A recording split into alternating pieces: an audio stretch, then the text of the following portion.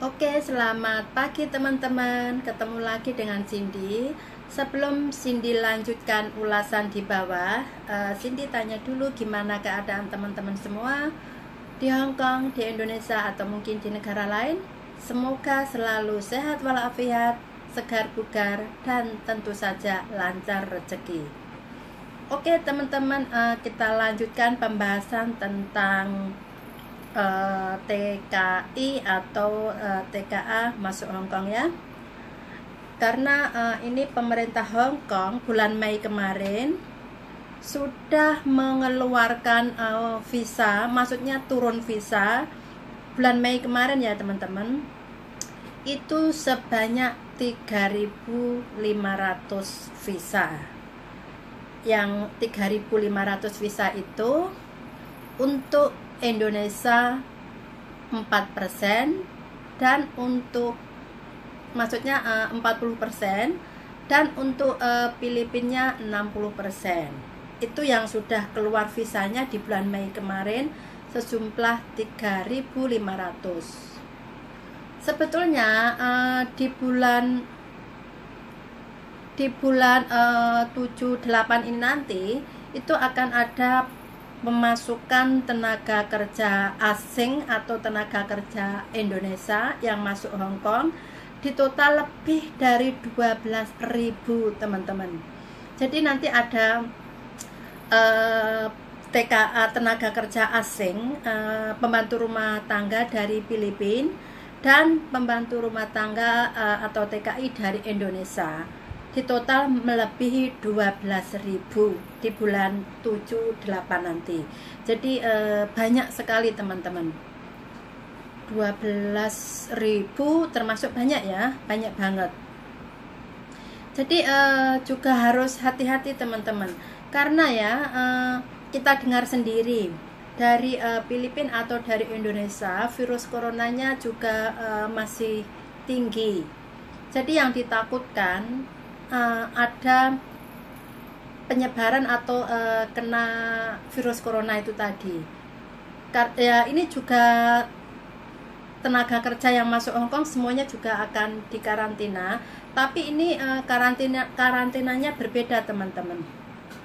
Kalau uh, TKI TKI kemarin yang cuti itu kan semua dikarantina oleh pemerintah tapi ini karena TKI yang masuk ke Hong Kong itu termasuk TKI yang baru teman-teman. Yang masih dari PT-PT gitu loh. Dari PT Indonesia atau mungkin dari PT Filipina. Jadi masih baru-baru. Jadi karantinanya nggak ditanggung pemerintah.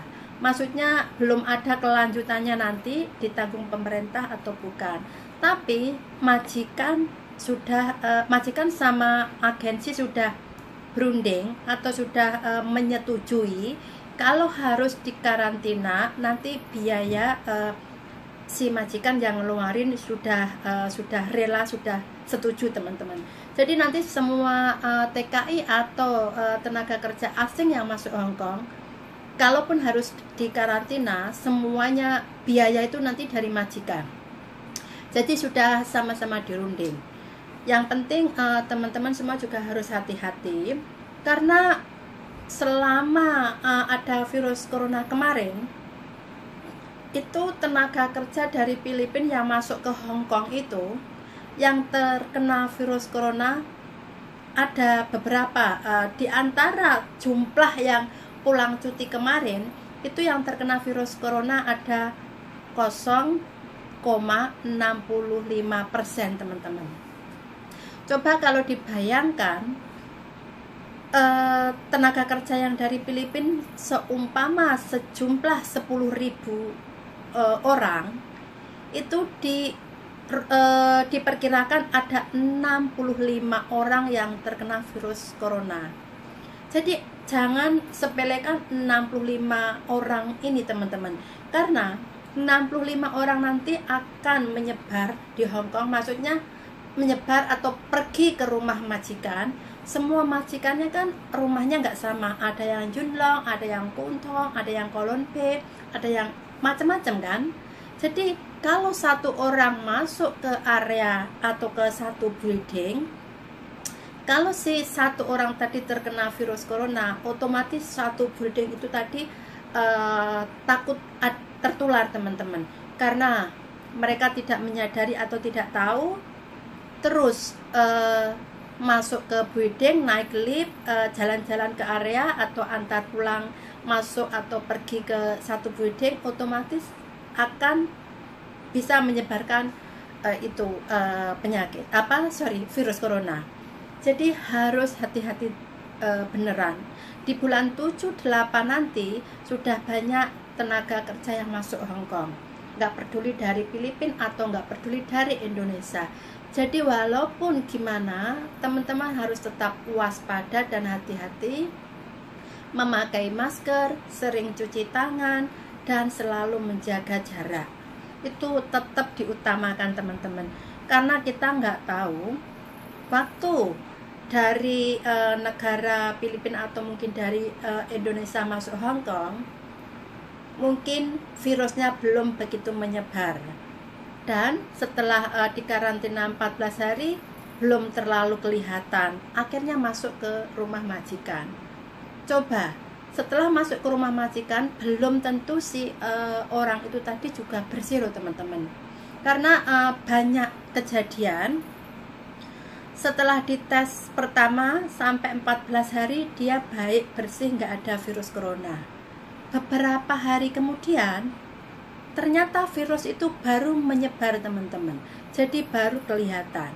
Jadi eh, teman-teman uh, juga harus tetap waspada. Jangan uh, sepelekan 65 orang tadi. Tetaplah memakai masker sering cuci tangan dan tetap menjaga jarak kalaupun keluar bepergian. Karena virus corona nggak langsung kelihatan teman-teman e, bisa pelan atau bisa e, agak lama. Kalau ke, ke kekebalan tubuh seseorang itu baik virus itu tidak cepat menyebar. Tapi kalau kekebalan si orang itu tadi e, rendah atau sedikit langsung menyebar dan cepat banget. Jadi teman-teman juga tetap hati-hati ya. Jangan sampai enggak memakai masker kalau keluar rumah itu tadi eh, apa itu eh, berita yang sudah diumumkan oleh pemerintah di bulan 7 dan bulan 8 sudah banyak atau sudah ada eh, TKI yang masuk ke Hong Kong dan tenaga kerja asing yang masuk ke Hong Kong. Karena di bulan Mei kemarin itu sudah turun visa sejumlah 35.000 lah padahal nanti melebihi 12.000 TKI atau tenaga kerja asing yang masuk. Jadi terbagi ya teman-teman. E, bulan 7 berapa, bulan 8 berapa, bulan 9 berapa. Harus menunggu visa dari e, pemerintah atau dari imigrasi turun dulu. Nah, ini yang sudah turun sudah eh, tiga puluh lima ribu lebih. Jadi eh, pelan-pelan, tapi yang pasti nanti banyak uh, tenaga kerja asing dan TKI yang masuk Hong Kong. Itu masih anak-anak baru teman-teman.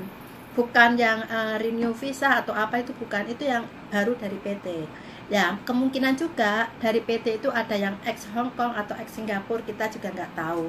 Tapi maksudnya bukan uh, anak atau teman-teman yang dari Hong Kong pulang itu bukan itu belum terhitung yang terhitung ya baru dari negara Filipina atau dari negara Hong Kong yang mau masuk nanti. Jadi teman-teman tetap hati-hati dan jangan lupa sering cuci tangan dan tetap memakai masker kalau keluar. Oke teman-teman semoga teman-teman paham uh, pembahasan Cindy ini. Dan kalau ada uh, komentar yang membangun jangan lupa tulis di bawah. Oke, sampai ketemu di video Cindy selanjutnya. Terima kasih.